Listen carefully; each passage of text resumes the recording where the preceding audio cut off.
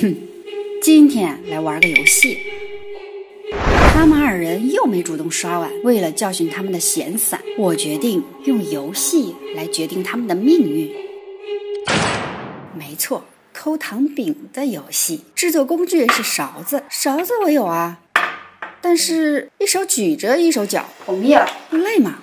用锅它不香吗？是谁说熬汤不加水的？结果就是变色了，汤还没化。又谁说要不停搅拌的？又不是要做糖雪球，加水有助于糖融化。熬到琥珀色加小苏打，这时不要犹豫，快速搅拌。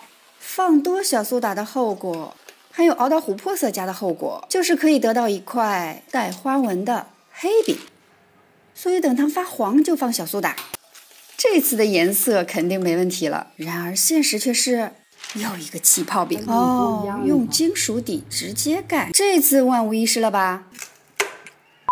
经过无数次的失败，最终还是实践说明纸和糖的贴合度不够紧密，用贴手机膜的耐心就完美了。但又出现了一个新问题，哎呀，毛孔有点粗大呀！想做出完美的糖饼，自然少不了它们的一路陪伴。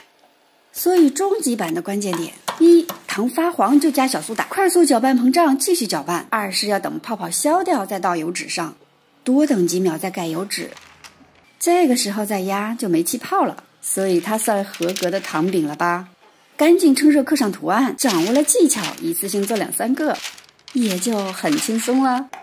不完美的也是可以抠的，不然这么多边角料我也吃不完。所以现在游戏要开始，来来来，游戏开始了啊！哎，我要这个，有没有三角？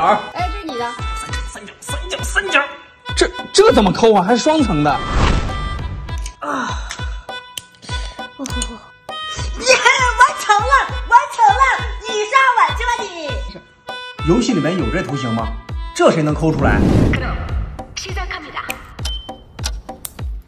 哟呵，你都掌握技巧了，怎么样？可以呀。